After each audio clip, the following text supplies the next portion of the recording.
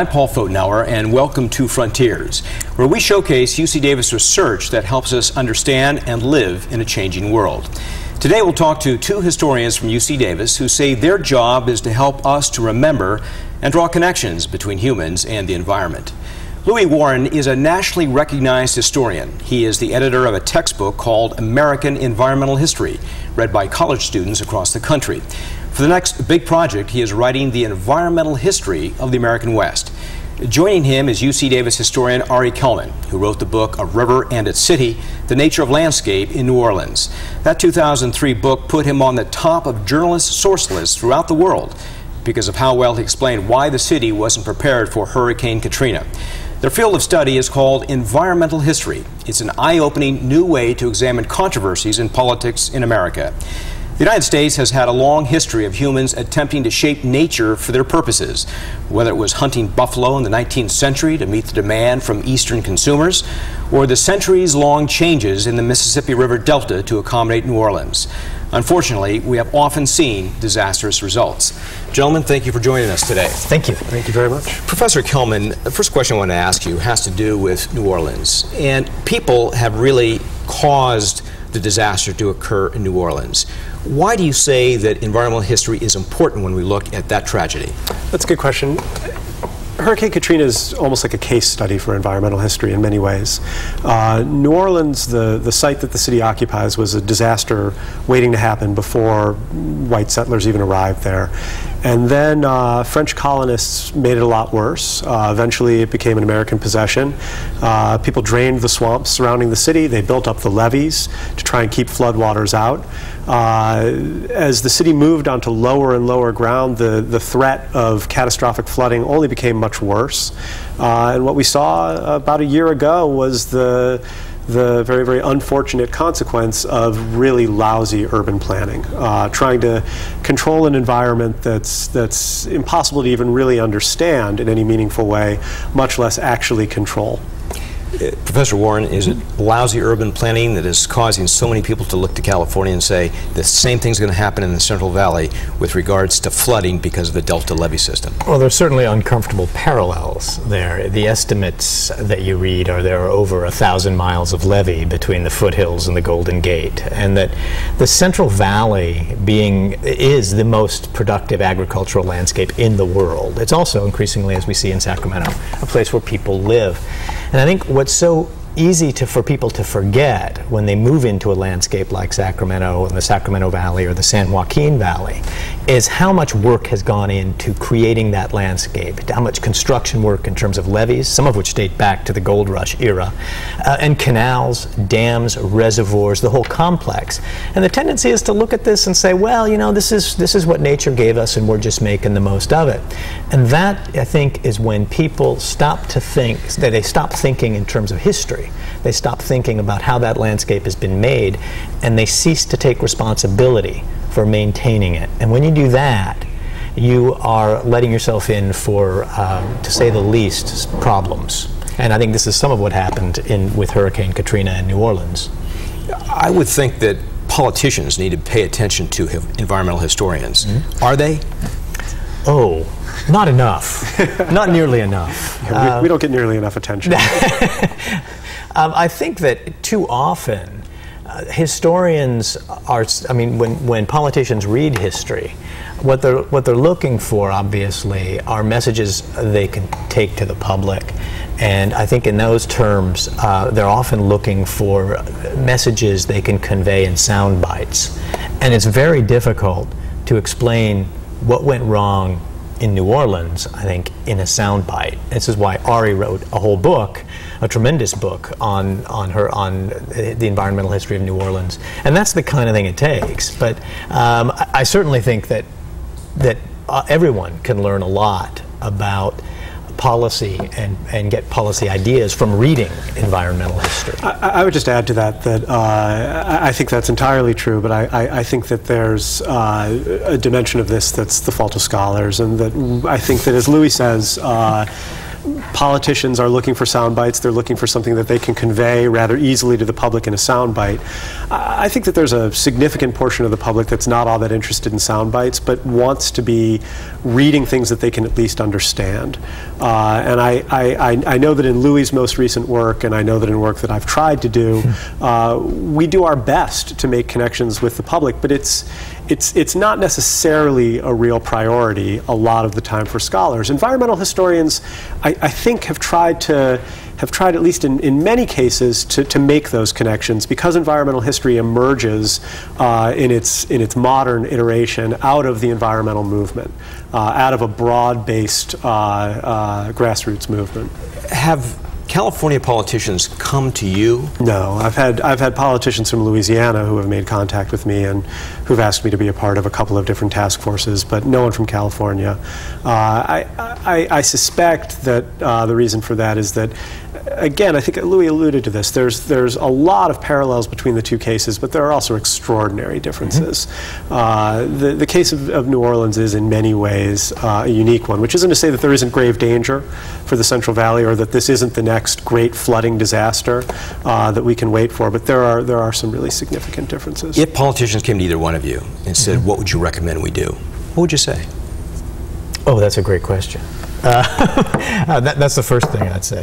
Um, I, you know, the one, I, one of the things that, that I think you have to do when you're assessing what kind of policy needs to be made from history uh, is there are whole there are a lot of people who know a great deal more about the levees in, in the Sacramento area than I do, obviously.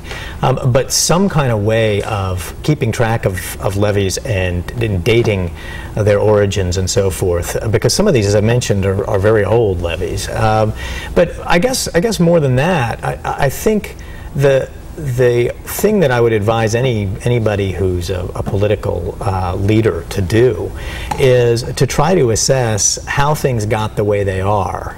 Um, looking beyond, as Ari's talking about, looking beyond sound bites. Um, and to, this is the way environmental historians look at the world, is saying, how have relations between people and nature changed so that they got to this point?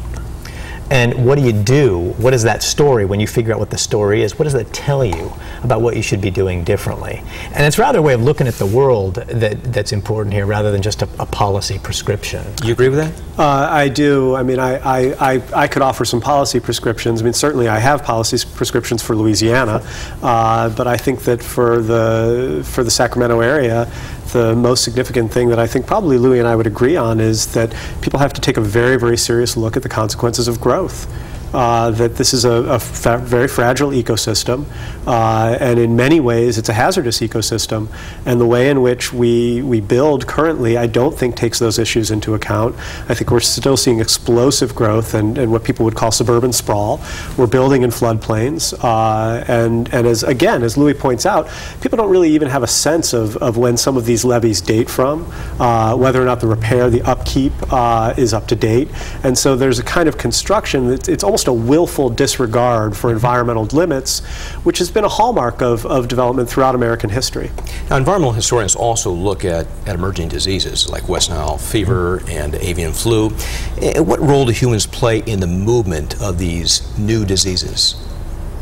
Well, people moving um, and often animals moving bring new diseases to new places. Um, I mean, that's that's typically how historians would describe the beginnings of epidemics is the emergence of some new nexus of people, animals, and pathogens or disease-causing organisms.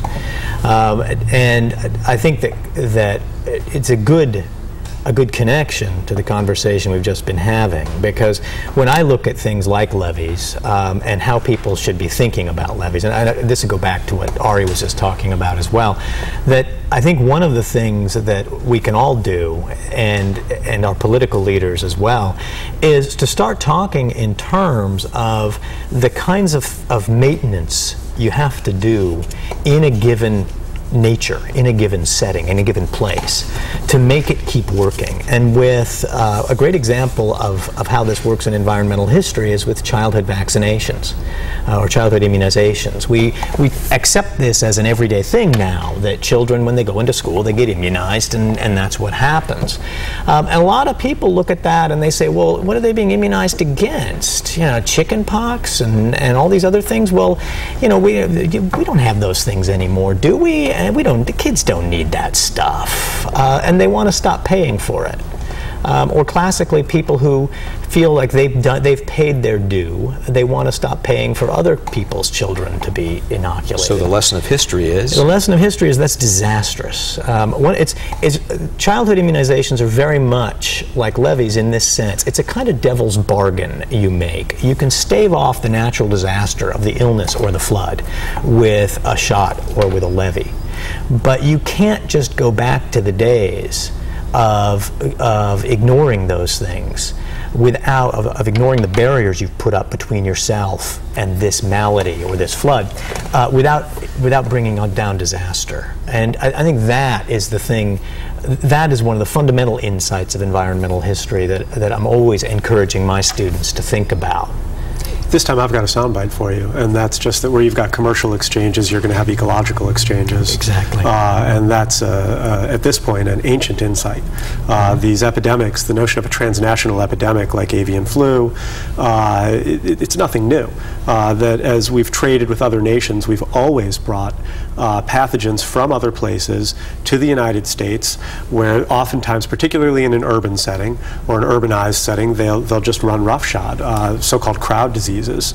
Uh, and so eh, it, it's, again, Louis talks about devil's bargains. I mean, these are, these are just extraordinarily complicated issues when you have to start to think about what the trade-offs are.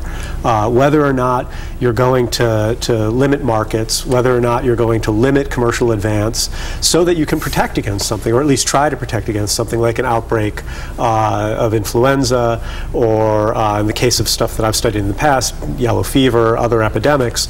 And, and it, it's, it's just it, it's just not. There's no simple answers. Uh, the the soundbite sounds nice. It's a good place to start, but then you have to actually start to answer the questions that that soundbite raises. It seems as though we're talking a little doom and gloom here, and I'm wondering, are we doing anything right with the environment? Oh, sure.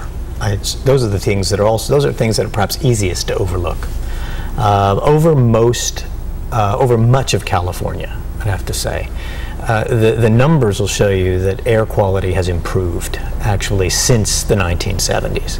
Uh, I, I, find it an astonishing statistic, one that I read a couple of weeks ago that I didn't know. Uh, that California today uses less water than it did in 1975, and, and which, given all the growth in population since 1975 and the growth of the economy, is really a remarkable thing. But isn't that because there's less ag land in use? Uh, well, no, I don't. I don't think that's necessarily uh, the the main reason. I think there there are lots of reasons for why we're able to do we're able to live better on less. Um, quite often, I, I think there there are other examples too. I we used to see in this in this area of the Central Valley a great deal of burning of rice fields, and you don't see that anymore. Uh, there were lots of concerns about how burning rice fields impacted air quality, and so one of the solutions solutions to the problem of how to get rid of the stubble on the rice field was to flood them uh, and then to, to encourage, to help the stubble biodegrade faster. And this has actually created quite a remarkable habitat for a lot of species of waterfowl. So that uh, in, for some of these species, in fact, the flooded rice fields have become the best waterfowl habitat in the area. And, and that's, uh, that, that's not condemning that with faint praise. I, I mean that they're actually doing quite well off of that seasonal habitat. Um, we can, we, we tend not to think as a society, that nature and the city can exist together. I think that, that is one of our fundamental, fundamental failings because nature and the city have to exist together in terms of, of flood prevention and epidemic prevention and, and, and in terms of, of wildlife uh, maintenance and management as well. Uh, how we integrate our cities with our nature, with the nature around us, uh, is one of the fundamental questions that, that we face. You both well know this quote by George Santayana that those who cannot remember the past are condemned to repeat it. What are you telling your students in your environmental history courses, things that they don't or will not forget? If, you mean things that it, it could, uh, I'm always worried they're going to forget everything that I'm telling them, and they're trying not to because there's an exam coming up. But uh, the way it works quite often is when you leave the class, right, uh, as a student. When you leave the classroom, in my experience as a student, you did forget the facts that you were told quite often, the figures, the numbers. Uh, and what I'm always trying to, to give people in my classes is, a, is to help them learn a new way of thinking. Uh, because you don't forget that. That, I think, is, is what stays with you. And when you start to think historically about how the world around us got made, who made it, and, and how has the reshaping of nature led to uh, the world around us from this table, which is derived from natural resources from I, I don't know where, but imagine there's lots of oil and wood that's gone into it, um, to the air around us and, and, what has gone into the air. Um, the, what Ari just said about the way that uh, it's a mixed bag is, is absolutely true. Um, on the other hand, when you look, when you look to the past um, and we look at the problems that have been overcome, it's, it's pretty astonishing. Um, and, and, a great example, he's, he's, Ari has written some excellent things about yellow fever uh, in New Orleans. There was a time in the 19th century, and, and I'll ask him to, to confirm this for me, that, that when, when people uh, looking at the crisis of disease in the cities, in particular cholera, which one was, the, was one of the great killers of the 19th century, uh, and they didn't know what was causing it, there were people who said, you know, the city may have reached its limits in terms of how useful it can be to us. Maybe American cities, uh, Philadelphia in 18, 1849, maybe that's about as big as it should get, and it won't get any bigger because it, it won't be able to because disease is going to keep hammering us and killing all these people. Um, and, and I, that turned out not to be true because people were able to learn about what created cholera and the historical conditions that led up to those epidemics and to change them. And often these things look like they're impossible to solve. And, and I'm, I'm not pessimistic about those kinds of things. I'm laughing because Louis and I uh, work down the hall uh, from each other, and and and uh, normally I'm I tend to be the more optimistic, but today I find myself uh, uh, with these predictions of gloom. I, I, I think that we've learned an extraordinary amount, and I think that unfortunately we haven't taken a lot of lessons to heart. Mm -hmm. And uh, I try and talk to students, as Louis says, about different ways about thinking about the past, and and I'm less interested in having them come out of my class with uh, with any particular facts or mm-hmm. set of figures than I am about uh, honing their analytical uh, uh, faculties and and that said, I mean, in, in, in, in the climate in which we've been teaching about environmental history in the past year, it's very hard not to talk about disasters. Uh, it's been a particularly disastrous year, and, or few years, really.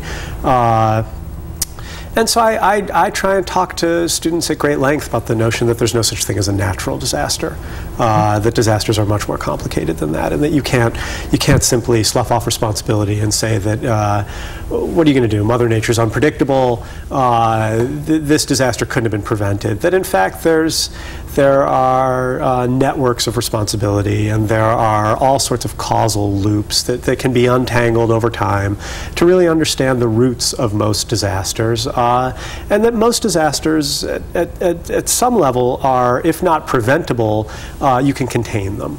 Uh, and, and, and so if students come out of the class with the, with the tools to be able to think about the past and to be able to, to really untangle uh, some of these uh, catastrophic events, whether it's, it's cholera epidemics, yellow fever epidemics, or floods, or, or, or the Great San Francisco earthquake, uh, and, and really understand the, the, the very dynamic uh, nature of the interaction between people and the environment, uh, then, then I feel like I've, I've done at least part of my job.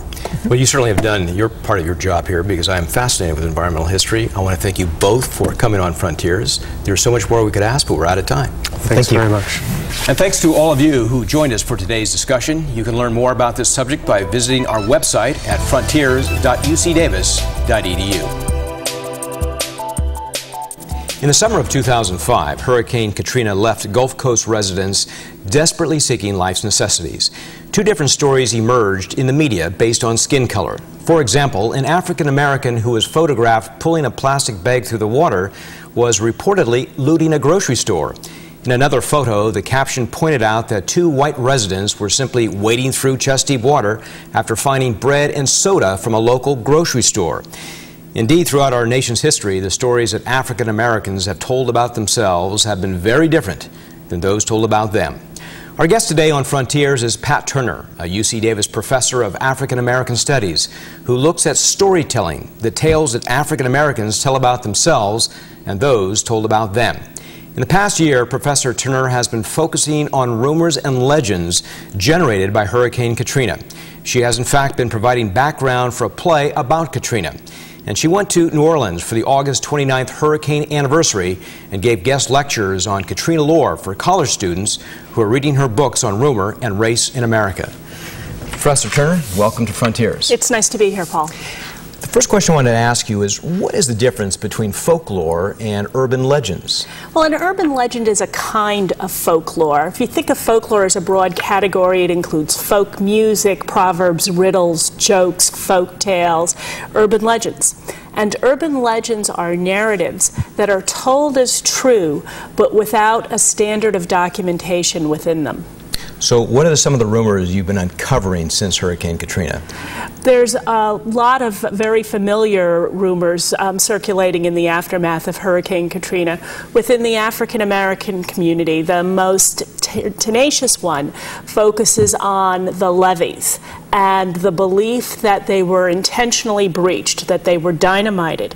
In some versions, you'll hear that they were dynamited in order to save the white communities, to flood the lower Ninth Ward in order to keep the white neighborhoods secure. In the more um, pernicious versions, it was an intentional mechanism of genocide, the hope that the floodwaters would actually kill African Americans. Now, after a year, that rumor is still circulating? It's probably the most well known of the texts within the black community. And it's actually interesting, Paul, because it sort of surfaced before the hurricane struck. On the eve of the hurricane, when people began to realize that this powerful storm was coming through, um, um, I'm told that the communication went that. Um, if the hurricane strikes, when it strikes, they're getting ready so they can bomb the levees and flood us out, just like they did before. And the same rumor circulated in 1965 after Hurricane Betsy. But in 1927, after the Great Mississippi Flood, the, the levees were intentionally breached. It really did happen. And that's very familiar pattern to those of us who understand rumors and urban legends. There's often a framework of truth that um, surrounds the text that surfaces. Now, we have absolutely no evidence to suggest that the levees were breached in 2005, intentionally were breached in 2005. But there's enough truth in terms of the ways in which blacks in New Orleans have been treated throughout the 20th and the 21st century to make that plausible to African Americans. Are the rumors distinctly different what blacks tell about whites? Absolutely. Um, in the the text that, that blacks tell about whites, the whites are, are the powerful, they're the, the conspirators, uh, the racists, and so forth. In the texts that have circulated in the white community, the blacks have been very much demonized and they're depicted as animalistic.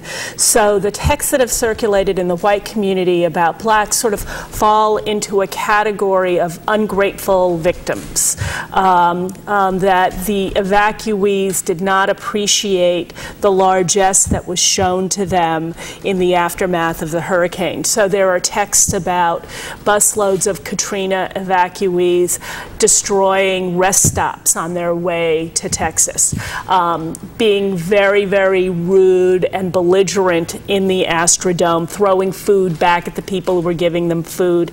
Um, texts that say that when buses came to take evacuees to job fairs, no one lined up, no one wanted to go get a job. Uh, so, so the and the language that comes up in these things are vile, venomous, animalistic. These are words that come out of these urban legends and rumors. Does the news media promote rumors? I don't think it does intentionally, but certainly in the case of Hurricane Katrina, the the need to get um, news to the American public as quickly as possible had lots of reporters not doing the kind of fact checking that they would normally like to be able to do. So, one of the texts that was widely reported uh, in the aftermath of the hurricane, right in the first few hours, was that the helicopters who had gone in to effect rescues were shot at. And that was reported in the newspapers, it was reported on television, it was reported on radio.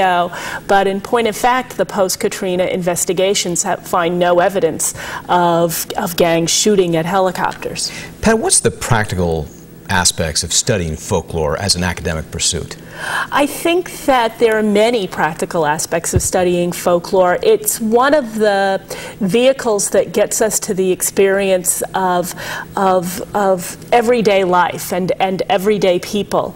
M much of academic study sort of focuses on the elite and those in power and the, the texts that they generate, their letters, their documents, and so forth. But the working class often don't leave behind a library of letters. They don't have the kinds of, of journals that those in powers would have, the diaries and so forth. So folklore, studying their music, studying their stories, studying the, their urban legends, gets you to an understanding of their culture. I want to add, however, that the elite have folklore as well. That's one of the common misconceptions that folklore is somehow or another about rural, unschooled people, that, that they have folklore, and people with PhDs don't have folklore. People with PhDs have folklore. What impact does the internet have on rumor urban legends, folklore? It has an enormous impact because it's so easy to forward something. It's so easy when you get a text to just send it on. Um, I found people who think that urban legends didn't exist before the internet, and that's certainly not the case. But using the Katrina example, a lot of these texts that have to do with um, the alleged destruction of rest stops and the belligerence at the Astrodome are in the form of long stories that one person creates and then sends to everyone that they've got an email address for, and then those people read it and send it on. And so it really flourishes in cyberspace. Briefly, social tensions, do they underlie all rumors and urban legends? I think social tensions almost always do. Some, some, something that's uneasy um, something that's difficult for people to speak about. Um, a, narrative, an urban legend crystallizes that and gives you a, a, really specific story to latch on to, to prove your point that your people are superior to another people, or this individual is stronger than that individual, or this celebrity is not as, as uh, attractive an individual as the publicist would have us believe. Pat, this is a fascinating topic. I wish we had more time, but we're out of time. Thank you for appearing on Frontiers. Thank you. And thanks to all of you who joined us for today's discussion. You can learn more about this subject by visiting our website at frontiers.ucdavis.edu.